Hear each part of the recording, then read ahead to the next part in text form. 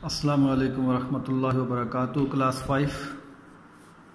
बेटा, इससे पहले मैंने आपको ये पारा फोर में से कुल सदक अल्लाह फ़तबी मिल्लता, यहाँ से लेके ये आपको नज़र आ रहा है। कुल सदक अल्लाह फ़तबी मिल्लता, यहाँ से लेके तो वमल्लाहु बेगाफिल आम्मा तामलून, यहाँ तक मैंने आपको गुज्त सबक पढ़ाया था, ठीक है? तो अब हम यहाँ से आगे स्टार्ट ले रहे हैं कि ये आपने नाजरा की तरतीब है, जो कि आपने रोज़ाना इसको, यानी कि पढ़ना है, ठीक है? और ये कैसे पढ़ेंगे? कुछ चीज़ें मैंने आपको बताई थी कि कुरान करीम का आदाब का लिहाज रखते हुए आपने कुरान करीम को ले कर बैठना है और फिर उसको पढ़ना है, ठीक है? जो कि पिछले दो लेक्चर में मैंने आपको बता दिया था कि क्या आदाब हैं इसके, ठीक है? यानी वज़ू करना है और फिर इसको अच्छे अंदाज से, यानी अच्छी जगह पे, पाकिज़ा जगह पे बैठना है। किबला की तरफ़ कोशिश करें, किबला की तरफ़ मुँह करके बैठें। क्यों? कि जितने आदाब का लिहाज रख के आप पढ़ेंगे तो स्वाब ज़्यादा होगा, ठीक है? तो हमने इसको, यानी कि ये नहीं कि बस जो जो चीज़ें ज़रूरी हैं तो वो आपने ज़रूरी समझ के करें, बल्कि इसको अल्लाह की रज़ा होनी चाहिए, ठीक है? अल्लाह की रज़ा होगी तो उसमें आपको डबल स्वाब मिलेगा। एक तो आपका इसके अंदर इम्तहान होगा तो उसमें ये काम आएगा, दूसरे नंबर पे अल्लाह राज़ी हो जाएगा, ठीक है? तो आपने अल्लाह की रज़ा के लिए पढ़ना है। अच्छा तो इसको कैसे पढ़ना है हमने आउज़ुबिल्ला पढ़ना है सबसे पहले, बिस्मिल्लाह, और उसके बाद फिर क्या? अपना सबक शुरू कर देना है। सबसे पहले पढ़ेंगे जी ये तरीका है पढ़ने का।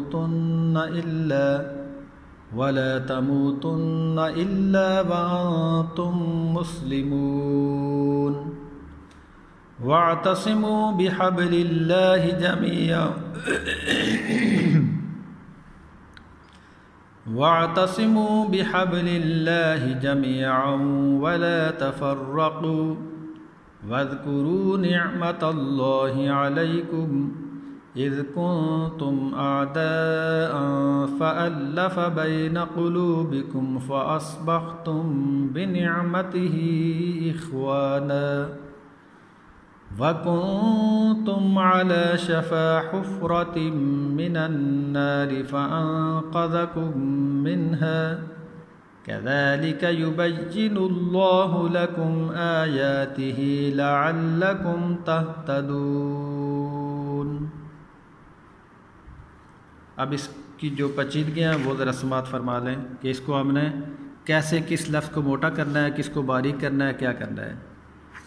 कहाँ पे रुकना है, कहाँ पे वक़फ़ है, ये सारी चीज़ें समझ लें। देखें, या के ऊपर मद है, इसको खींच के पढ़ना है। या अयुहल्लदीना आ मानू आ के ऊपर खड़ी दबर है, इसको थोड़ा लंबा करना है। नून, पेश, वाव, मद। अब नून, पेश, वाव पे मद आ गई इसको खींचना है। आ मानू इन तो इन पे मैंने आपको कहा था कि नून के ऊपर जज्म हो तो उस पर देर लगा के पढ़ते हैं हम उसको। उस नून पर देर लगाते हैं। जैसे, इन तो अब मैंने ये भी बताया था आपको कि जिस मीम के ऊपर शद आ जाए तो वहाँ भी देर लगती है। जैसे, फ़रीक़म। आगे मैंने आपको क्या बताया था जी? वकैफ़ा वक़ैफ़ा नहीं पढ़ेंगे वकैफ़ा बारी करके पढ़ेंगे। ठीक है? तकफूरूना। व तुम नून पे वही बात है जो मैंने आपको बताई है कि नून के ऊपर जज्म आ गई है, इसलिए नून पे देर लगा के पढ़ेंगे अच्छा रसूल या वक़फ़ कर लिया क्यों? तो या आ गई ना तो इसका मतलब होता है वक़फ़ कर लें। तो मिला के भी पढ़ना जायज़ है, लेकिन सांस टूट जाए तो फिर वक़फ़ कर लिया जाए। वमा या तस्लीम स्वाद को मोटा पढ़ेंगे ठीक है? सिरातिम पे गुन्ना करेंगे, मुस्तकीम, वक़फ़ को लंबा करके पढ़ेंगे। मुस्तकीम मुस्तकीम नहीं, मुस्तकीम।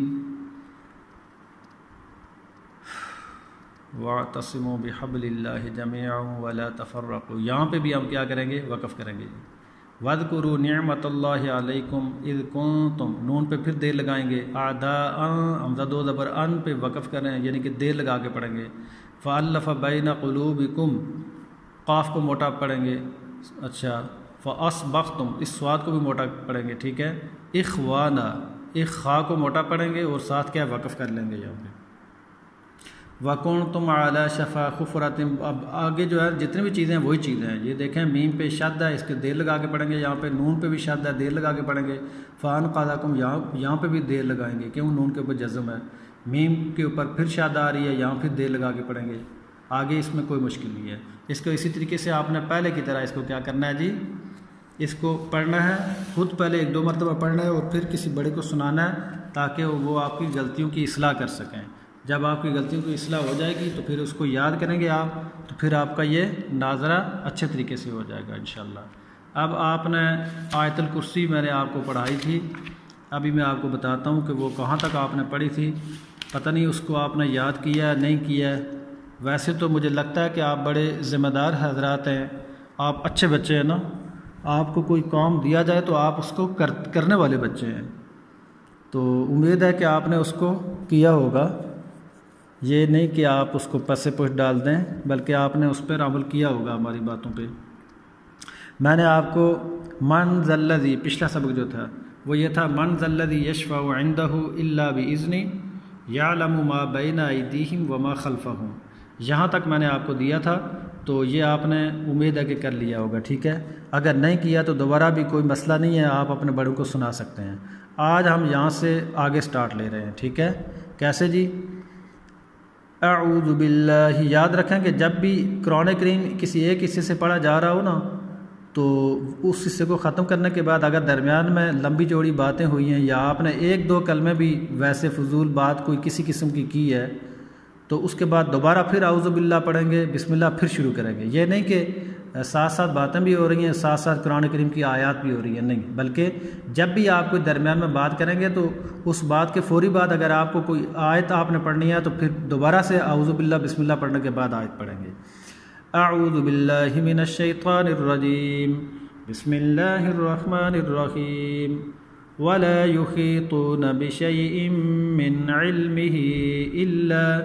इल्ला बिमा शा'a वसिया कुर्सीसमावाति वल और यहाँ तक आपने इसको याद करना है ठीक है जब ये याद हो जाएगी तो फिर किसी बड़े को आप सुनाएँगे तो तब जाके तो इसमें बीतरी आएगी ठीक है कैसे पढ़ने का अंदाज़ा जी वला युखी तो न बिशई इम मिन इल्म ही इल्ला बिमाशा पहले इसको तीस चालीस मरतबा पढ़ेंगे फिर अगले हिस्से को पढ़ेंगे वसिया कुर्सीसमावाति वल और इसको फिर तीस चालीस मरतबा पढ़ेंगे ना तो फिर आप वला तूना से लेके वल अर्ज़ तक पढ़ेंगे। तो फिर आपको ये क्या होगा, मुकम्मल तौर पर याद हो जाएगा, ठीक है? कैसे जी? वला तूना विषय मिन इल्म ही इल्ला बिमाशा पहले इसको तीस चालीस मरतबा पढ़ेंगे, फिर क्या पढ़ेंगे? वसिया कुर्सी उसमावात वल फिर इसको तीस चालीस मरतबा। जब दोनों को तीस तीस, चालीस मरतबा पढ़ लेंगे तो फिर वला तूना से लेके यहाँ तक पाँच, दस मरतबा पढ़ेंगे तो ये पूरा क्या होगा? आपको याद हो जाएगा। फिर किसी बड़े को इनशाला आप सुनाएँगे तो ये आपको याद हो जाएगा। तो बाकी इनशाला फिर आगे पढ़ेंगे। अल्लाह आपको जदा खैर अता फ़रमाए, हमारे बातों पर अमल की तोफ़ी नसीब फरमाए। असल वरहमल वर्का